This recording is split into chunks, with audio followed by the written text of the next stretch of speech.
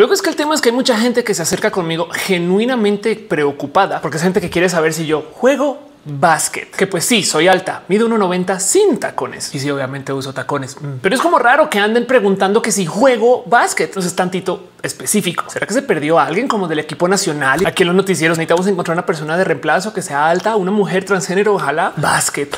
Es raro. O sea, yo no ando por la vida pensando, ah, mira, esa Lupita está bien chaparrita. Jugará mini golf. Pero bueno, Hey gente, ¿qué tal? Sean ustedes bienvenidos aquí a mi canal en YouTube. Yo soy Ofelia Pastrana, la explicatriz, y este es nuestro espacio para darnos amor y cariño, para nerdear a gusto y de vez en cuando cambiar nuestro fondo virtual, porque todo esto se está grabando en un foro en Los Ángeles, enfrente de una pantalla verde, donde los lunes hacemos roja, un show para nerdear a gusto y para darnos un abrazo en vivo. Si están por ahí los lunes, caigan. Y donde los domingos en la noche tenemos degustación de recetas de cocina preparadas a la Cooking Mama, donde hey, la gente ganadora también le pedimos que se vistan como si fueran parte de Cooking Mama para preparar los platos. Y donde a veces, cuando tengo tiempo, me doy una pasada por la sección de comentarios de este canal para levantar las mejores preguntas que tengan ustedes para dejar y también de paso leer los comentarios, todos, todos, todos. También hay comentarios muy bonitos. Gracias por dejar su amor y cariño aquí. Y con tiempo comienzo a acumular esos comentarios en un documento que voy guardando en mi escritorio para que a lo largo del mes o del año pueda entonces acumular suficientes escritos como para poderlos mandar a imprimir y luego pasar todas esas hojas por una trituradora, no porque quiera destrozar sus comentarios. Esos van a seguir acá en YouTube, sino porque todo ese papel después de pasar por la trituradora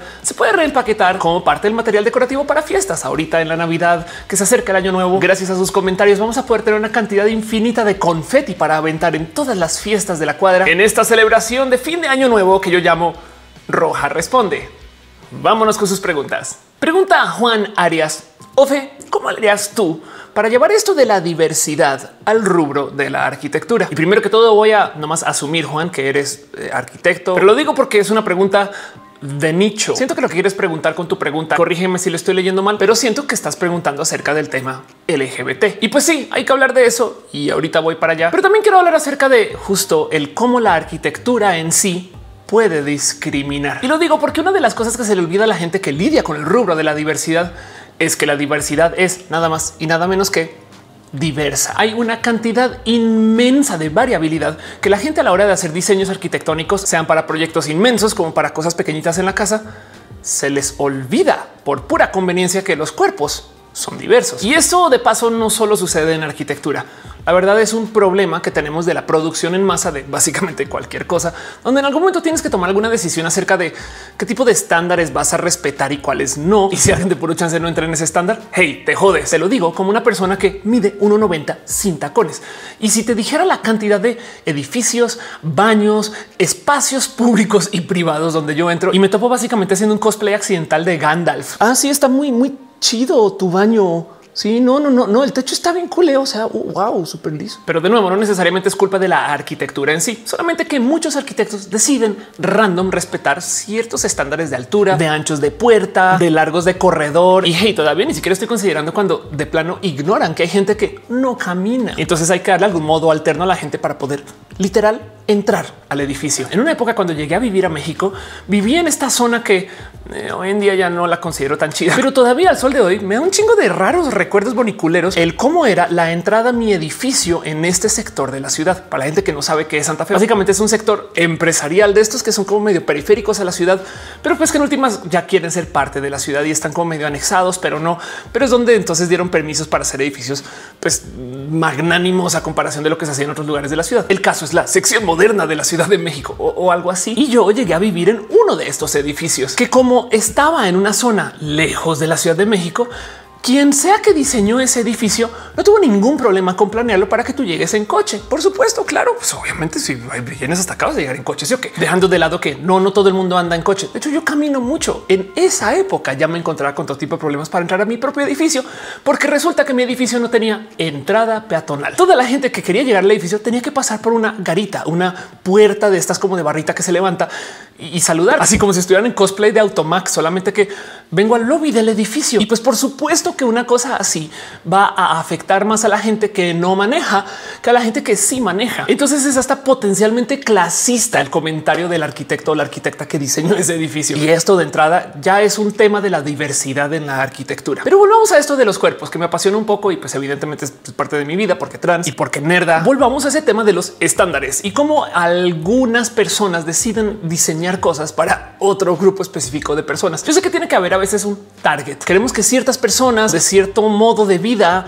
use este producto o este edificio o este espacio arquitectónico. Pero el punto aquí es que parte del motivo por el cual hay tantos como errores de discriminación hacia cuerpos por parte de la gente en arquitectura es porque en la carrera de arquitectura tampoco hay una presencia muy diversa. Me es lo más normal del mundo conocer a arquitectas que al sol de hoy todavía traen este discurso, que es un discurso muy válido y evidente de cómo todo el mundo la trata diferente por ser la arquitecta y que no, que no puede ir a la obra porque las mujeres en la obra, que es esto? Que siempre se sorprenden de que hoy le das órdenes a albañiles, como así? Hey, también son seres humanos, tanto las arquitectas como los albañiles o las mujeres albañiles, supongo que en fin. Pero el tema es que si desde cómo se educa y se enseña la arquitectura no hay un trasfondo diverso, entonces la gente que se va a graduar de eso también va a replicar estas técnicas que no son diversas de diseño y de desarrollo. Ya sé, hay un punto feminista que pueden ustedes creer en él o no, de cómo los edificios en sí son símbolos fálicos.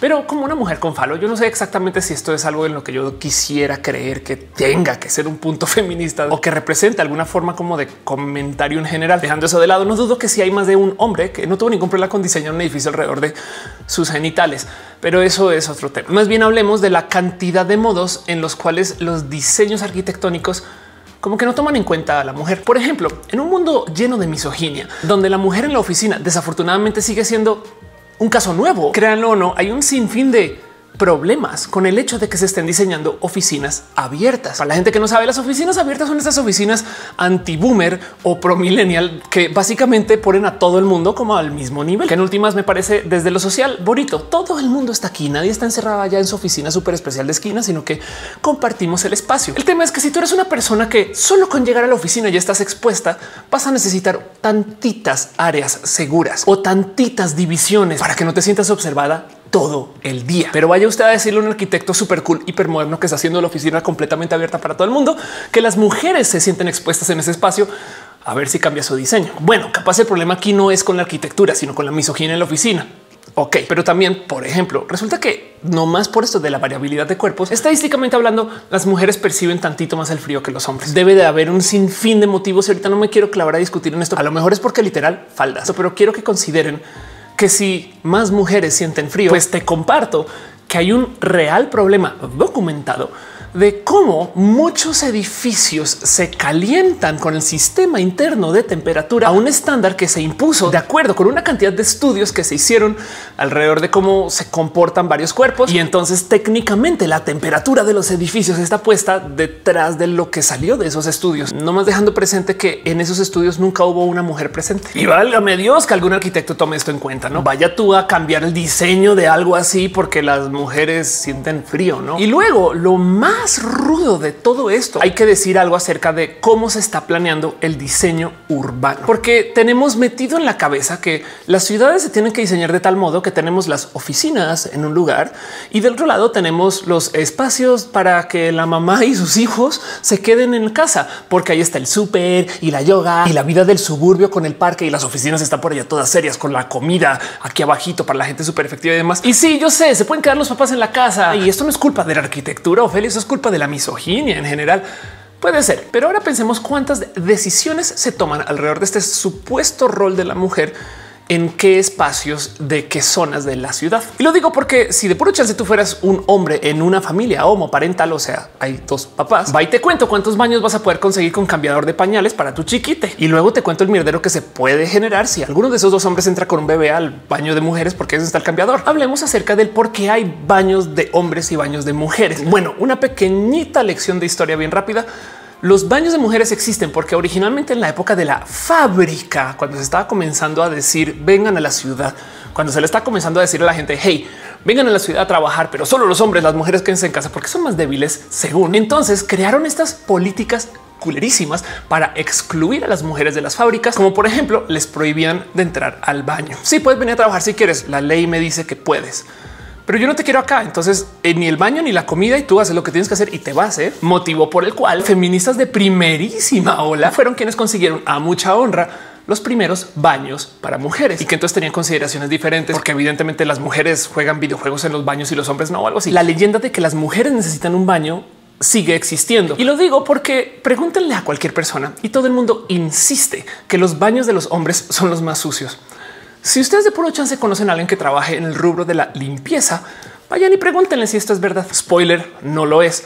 Pero el punto es que al no tener baños compartidos, entonces los hombres no se les enseña que deben de respetar a las mujeres hasta en el baño. Resulta que se asumía que los niños eran naturalmente violentos, que no es necesariamente verdad. Todo eso se cría, se educa, se enseña pero es que a los niños de verdad que no se les pone límites. Y entonces, volviendo al cuento de cómo incluimos la diversidad en la arquitectura, bueno, te preguntaría yo en algún diseño tuyo o en algún diseño que conozcas o en algún rubro de la arquitectura, no más cómo consideran los baños. O sea, si lo piensan, los baños de hombres tienen hardware para pues, aceptar a toda la población humana. Y ojo que aquí estoy hablando de baños. ¿Qué otras cosas habrá por ahí que se están diseñando para hombres y para mujeres? No lo podría hablar acerca del tema LGBT, porque este tema de los baños en particular, yo sé que es un tema caliente. Por ejemplo, existe la leyenda de que las mujeres trans entramos a los baños a violar, que hace muy poquito una empresa relacionista en Estados Unidos se confesó que fueron quienes crearon todas las noticias falsas para sembrar ese mito y ese miedo. Y se confesaron porque armaron tremendo desmadre. No hay estadísticas que comprueben que las mujeres trans entramos al baño a violar. De hecho, si hay estadísticas que comprueban lo contrario, que mujeres trans que entramos al baño nos golpean, nos sacan y en un caso muy famoso de algo que sucedió el año pasado antepasado, asesinaron a una mujer trans por entrar al baño. Pero la gente se para en sus pestañas para defender lo que debería de ser el rol de la mujer, donde por lo general los roles de la mujer son pues como la versión de dieta de lo que sea que se le da al hombre, aún los diseños. No dudo que hay todo tipo de cosas que están literal pensadas con género en mente que hace que las cosas sean pues muy injustas. Hey, el tema de que hay que separar a los hombres de las mujeres de los baños porque es que llegan los violadores. Ignora que los violadores son violadores. O sea que a esas personas no les va a detener un aviso que dice solo mujeres. Y si se trata acerca del pudor y de que me van a morbosear estas cosas, no crean que por el hecho de que ustedes entraron a un baño separado, automáticamente entraron a la zona del celibato. Si ustedes les escandaliza el concepto de un baño sin género, porque la gente se va a volver muy loca, Solamente les voy a decir que esto ya existe en muchos lugares del mundo y no necesariamente como parte de una gran campaña LGBT, aunque a veces sí. No, esto existe en su centro comercial favorito y se le llama baño familiar. Te invito a que consideres la diversidad de cuerpos a la hora de ver cómo se planean las cosas. Hay que entender que el diseño bonito deja de ser bonito en el momento que alguien no pueda subir la escalera para entrar al hotel o lo que sea. Pero bueno, espero con esto responder tu pregunta. Pregunta Antulio Tinoco que cómo es esto que la piña te come a ti. Algo que dije en un video en vivo donde comentaba acerca de él, porque en este canal le tengo tanto gusto a las piñas. Que de nuevo un pequeño mini repaso. Cuando hacemos show en vivo y alguien deja donativos, abrazos financieros o un poquito de amor y cariño, nos damos las gracias poniendo emojis de piña en el chat y entonces de repente aparecen solo piñas y lo celebramos solo porque sí. ¿De dónde viene esta costumbre? Es completamente robada. Yo la usaba cuando hacía show en conjunto con las Pixel Beats, otras streamers bien cool, youtuberas súper cool del mundo de los videos juegos a quien amo con todo mi corazón y quienes ya tenían la costumbre de poner piñas en el chat, porque resulta que Erika Abrego, Cat Power, es muy fan de las piñas, le gusta la piña y a mí también. Y entonces cuando yo comencé a hacer mis streams solita con más frecuencia, mucha gente se quedó de la audiencia del show de Cat y usaba las piñas. Entonces ahora las piñas quedaron heredadas acá. Como las piñas llegaron a mí por literal robo y como del otro lado yo soy improvisadora teatral, pues cada show se me ocurre cualquier tipo de estupideces para justificar del por qué nos gusta poner las piñas ahí. De entrada existe esta leyenda que es completamente real de cómo las piñas están en altísima escasez ahorita. Entonces ponemos los emojis de piña porque tenemos que celebrar lo último que nos queda las pobrecitas. Pero luego también en un show en vivo comenté que la piña, así como tú te la comes, también te come a ti. Y es muy único eso. Si bien yo sé que gracias a la impro digo una cantidad ridícula de mentiras innecesarias en el marco de la comedia, por supuesto. En este caso en particular, esto es una historia real. La piña como fruta tiene esa como muy curiosa característica que a medida que te la comes, como que sientes que tu boca se comienza como a desgastar un poquito más. Ahora, no me quiero clavar mucho en este tema, pero quiero nomás recordarles a ustedes que yo soy una persona que vive con anosmia. Entiendes? Yo tengo un muy mal sentido del olfato. Las cosas no me huelen casi que nunca. Algunas cosas sí, pero por consecuencia, la gran mayoría de la comida no me sabe a mí. Y esto es una potencial inmensa tragedia que yo no la vivo como tragedia. Para mí es una divergencia. Es como ser daltónica del sabor. Entonces yo me crié con esto y no extraño la gama completa de colores del sabor de las cosas, aunque sería súper chido algún día poderlos ver. Pero bueno, pero en eso comentaba yo en vivo que parte del motivo por el cual me gusta comer piña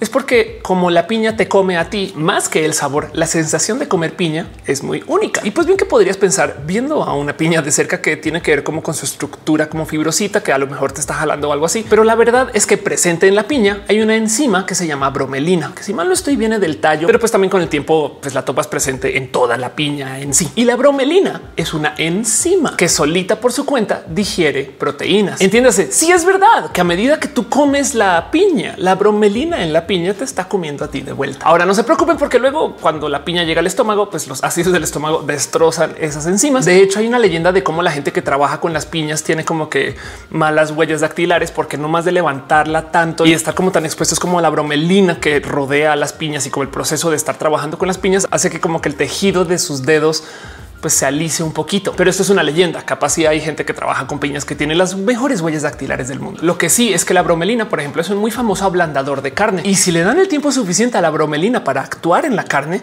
la va a hacer como papilla, como puré. Y si lo piensan técnicamente, esto podría pasar con nuestros labios.